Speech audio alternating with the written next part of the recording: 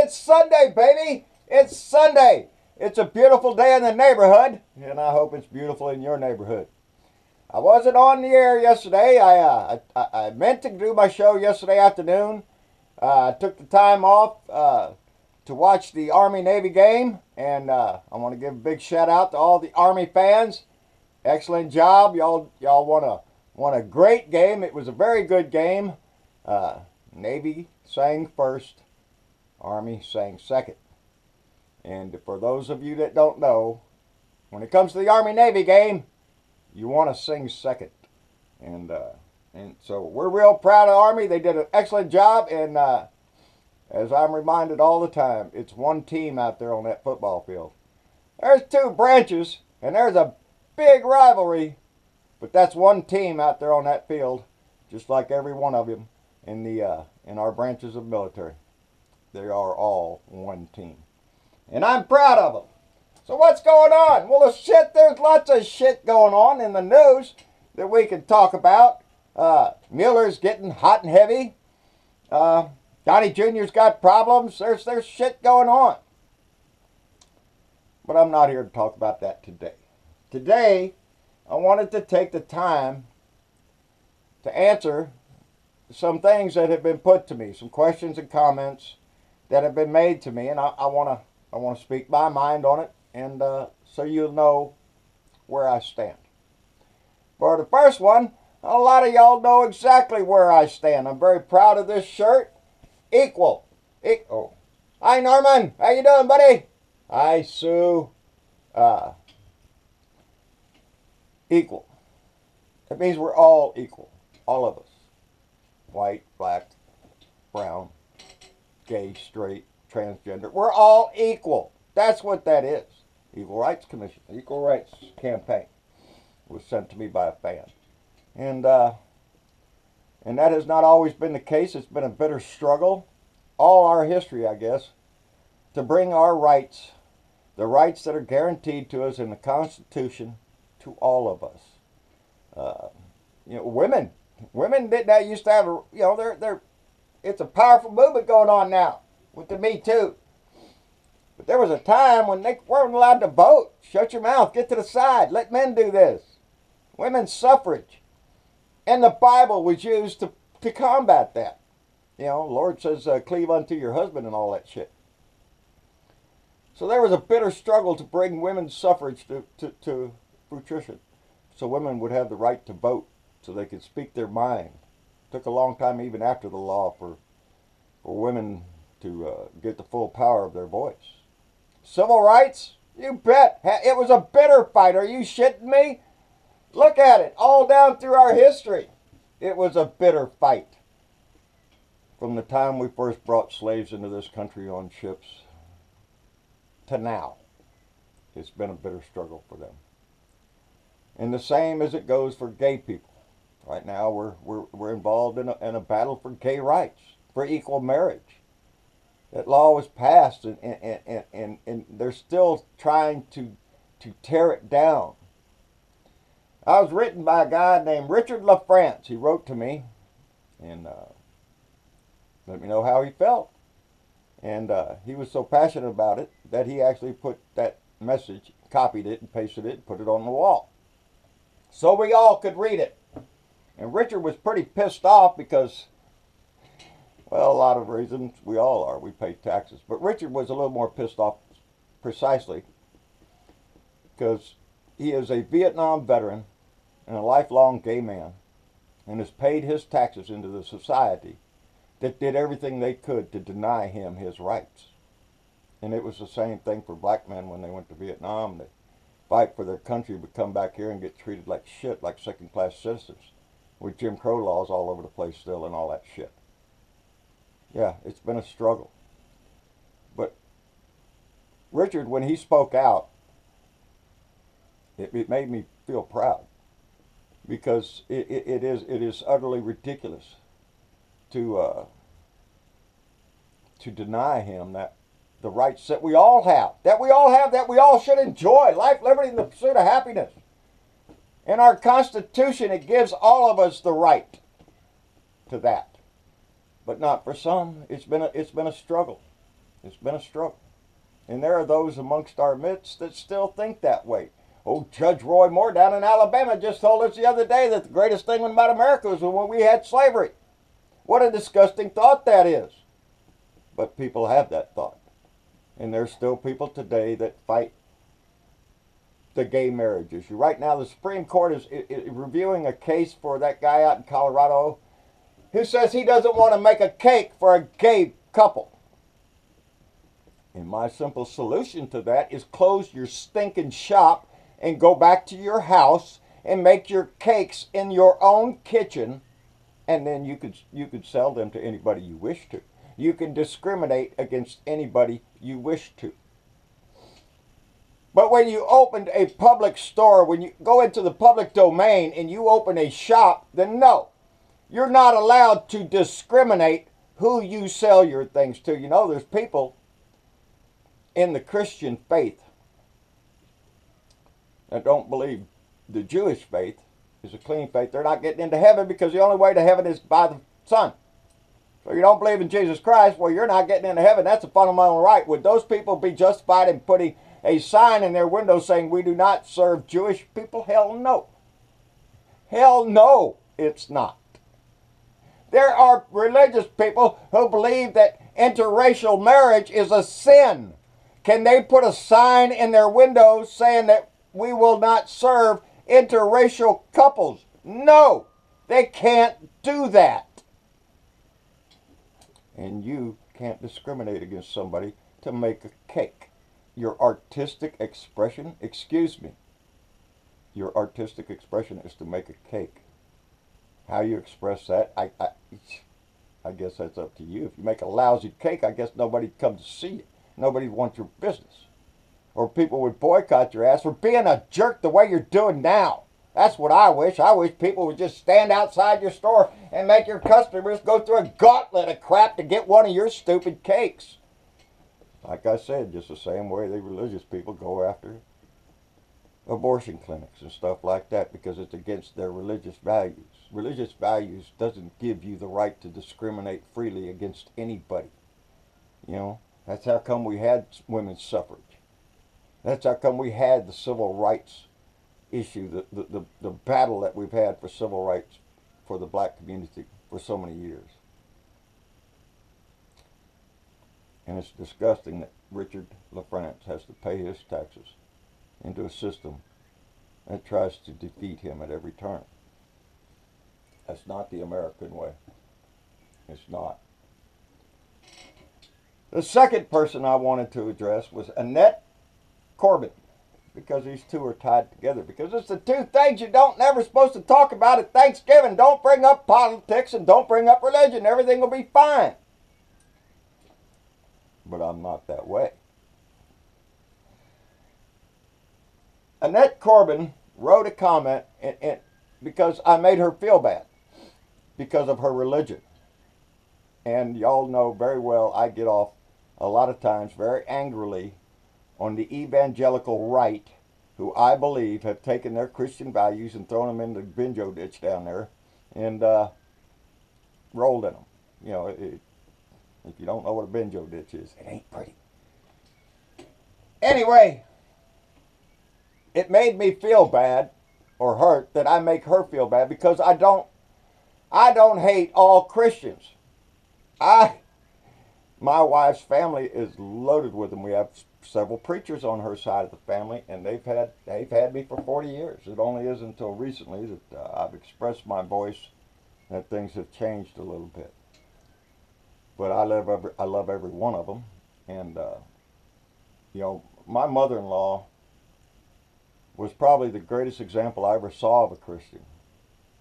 She's bound to a wheelchair, but there wasn't a day that woman didn't smile and praise Jesus and I was glad to be around her. I was glad to listen to her. She urged me to go to church so many times, and I did a few times, and uh, and enjoyed myself. Don't get me wrong. I like to hear people sing and get happy, and uh, but I don't share in, in the religious view that uh, that they have. I, I I just don't buy into the whole scenario. I'm a science kind of guy. I believe in the Big Bang. I love science.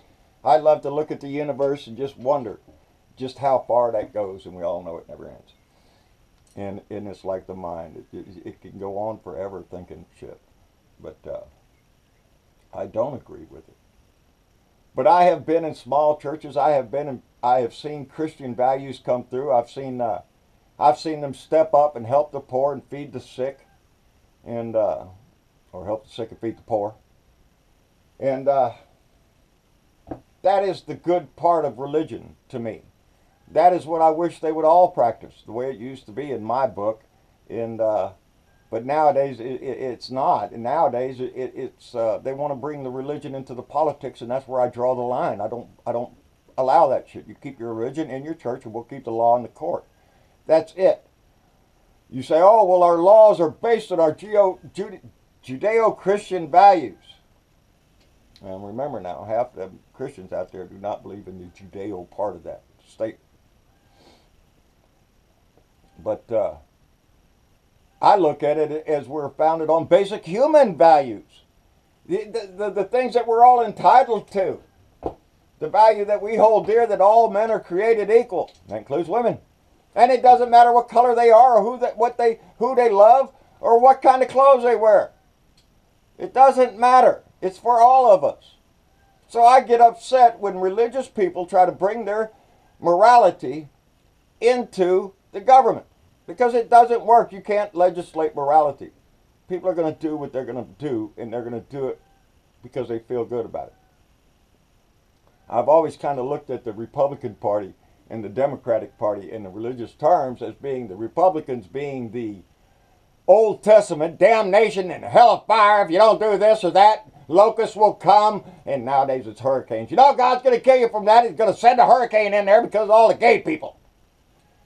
That's bullshit, and it's it, it, it hurts people when when that kind of talk is when you're up there at the pulpit demanding that gays will burn in a sea of fire. That's disgusting. That's that's pitiful. If you believe that, I feel sorry for you. But it's your right to believe that.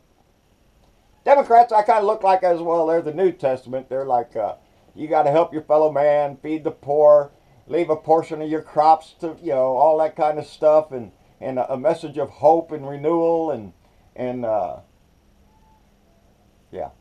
So to me, it, it, that's the kind of way I look at religion amongst the polit- politi- political views. And like I said before, if you let that keep going, pretty soon you're not going to have a a, uh, a Methodist church or a Baptist church. You're going to have a, a Democratic church and a Republican church. And that's where it's going to go if you allow churches to start politicking from the pulpit. It's disgusting. Society will deem what is right. What's that saying? I don't have it. A little part of it is that if you give American people the truth, you can rely on them to make a wise decision. And beer, Abraham Lincoln. He threw in, you give them beer and, and the truth, they'll make the wise choice. And that's what we've done through our history. We vote on things. We, we, we bring laws. Your law might be based on a, on a Judeo-Christian value, but when it hits the law, does it pass the test of the Constitution? Because regardless of how you feel, the Bible is not the defining document in this country. It is the Constitution. And because Richard France, La France has to fight for his rights because somebody on the Christian right thinks he doesn't get them. It's not up to your religion to determine who gets the rights in this country and who does not. It's not up to your religion. It is up to our Constitution. So Richard shouldn't have to fight for those values. And I don't believe that Annette Corbin fights against that. I believe uh, she's a Democrat who believes in inclusion. Jesus says, turn the other cheek, love the sinner, but hate the sin, or whatever you want to call it. You can do that. You don't have to be gay to, to like a gay person. Are you stupid?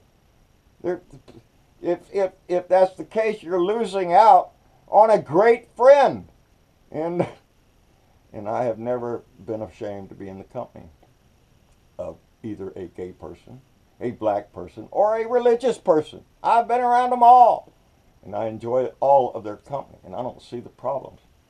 But anyway, I, I'm getting all tangled up. I wanted to save a few minutes because I got a few things to share. I've been getting mail, baby. I've been getting Christmas cards.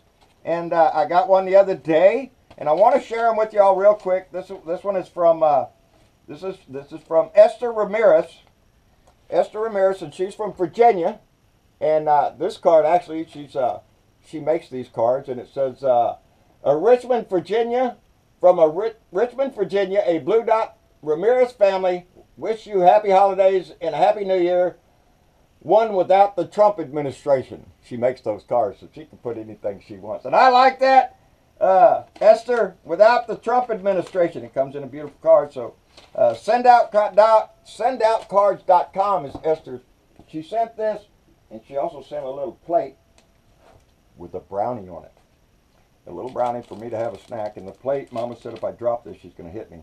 It says, Wherever you are, it is your friends who make your world. And it's a beautiful little plate. It's got a map of the world back there on the back of it. So no matter where you are in the world, it's your friends that make your world. So, and I'm going to eat that brownie after a while. I've got to be real careful with it. But Esther Ramirez, thank you very much, darling. And uh, got another one. And I this one is from from Jade Rango. She's up in New Jersey, and we've known Jade for a long time. Jade uh, is just walking in a winter wonderland, and there's a beautiful card with some sentiments. Says, "Hope your holidays sparkle." Jade is the person that before I turned on this camera and started sharing this to all the world out here, I wrote my thoughts and stuff. And Jade was the one that told me, John, you need to you need to turn your camera on, leave it on, and keep talking. So Jade is the one that encouraged me to start this.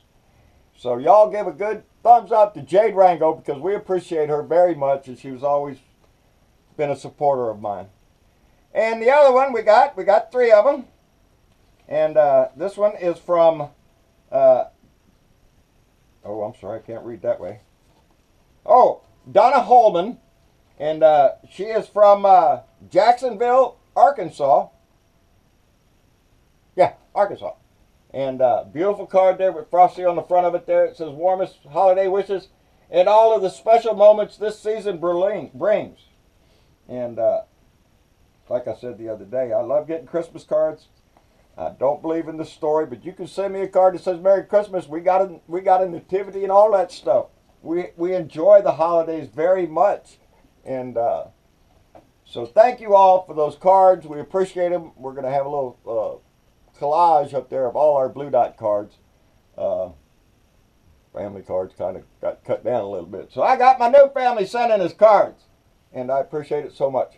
And uh, anyway, the, the news well, I can wait till tomorrow. But, but these issues of, of equal rights for all of us, Richard should not have to fight for equal rights. He served this country. That's what bothers me a lot of times about shit. We have people in Mexico who fought in the Vietnam War who are not American citizens. We have soldiers that have served our country in combat who are not allowed to be citizens. And my thought has always been if you serve this country, you are a citizen. That's it you outrank anybody else in my book. And uh, it takes a special breed to step up and, and, and, enter the military and put your name on that check for up to and including your life. And uh, to put your name on that check, baby, it, it means something. And Richard paid that price. And Richard should not have to fight for a damn thing in this country. And uh, Richard, I'm very proud of you. On your wall, you're very active. I see that. Uh, you make me proud for standing up for who you are. And, uh, and, Annette also makes me proud to stand up for your Christian values and to live by them. I don't have a problem with that, dear. I'm very happy for you. And, and Christians, I, I think, have something I don't have. And that's the faith of, of, of, a, of a better life after this and, and how you're going to see the family and all that. Those are dreams I envy as being an atheist, and, and, and, so I'm a little bit jealous of that thought when it crosses my mind. And uh, but I don't begrudge anybody your religion. Practice it the best way you know how. Help, like the New Testament says. Don't go to the Old Testament and smite them down.